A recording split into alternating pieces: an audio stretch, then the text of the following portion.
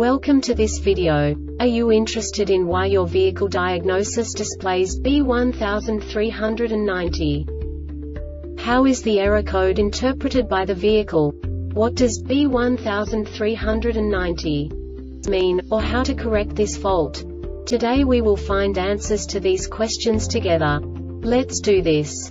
First, let's look at the history of diagnostic fault code composition according to the OBD2 protocol, which is unified for all automakers since 2000. We divide the electric system of automobile into the four basic units. Powertrain, body, chassis, network. This distribution is defined in the first character code. If the second character is expressed as zero, it is a standardized error. In the case of numbers 1, 2, 3 it is a more prestigious expression of the car-specific error. The third character specifies a subset of errors. The distribution shown is valid only for the standardized DTC code. Only the last two characters define the specific fault of the group. Let's not forget that such a division is valid only if the other character code is expressed by the number 0. Our website airbagreset.sk produces useful videos for you. You do not have to go through the OBD2 protocol anymore to know how to troubleshoot any car breakdown. You will find all the diagnostic codes that can be diagnosed in a Honda vehicles. Also many other useful things. The following demonstration will help you look into the world of software for car control units. You unbelievably can move the video a bit further. The error code is split into two bytes consisting of 16 bits. One bit is the basic unit that each computer works with. The bit has two logical states. 0, low level, 1, high level. By combining the first two bits, the basic character of the error code is expressed. The next two beats again determine the second character. The last beat styles of the first byte define the third character of the code.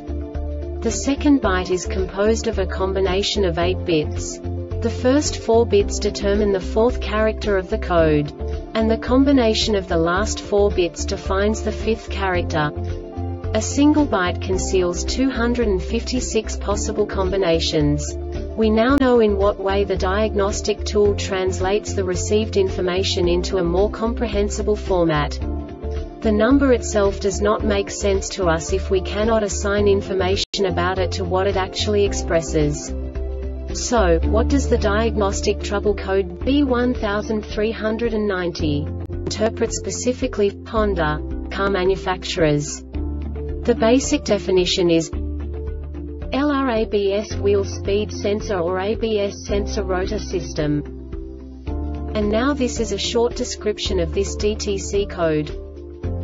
Vehicle wheel speed signals of any of the four vehicle wheels indicate abnormal acceleration that exceeds specification periodic abnormality is detected in the signal wave pattern from the ABS wheel speed sensors.